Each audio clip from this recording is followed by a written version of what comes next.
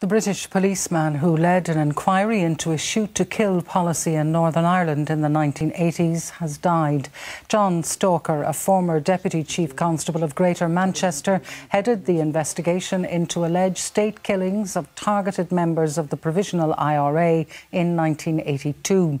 His daughter announced his death earlier today. He was 79.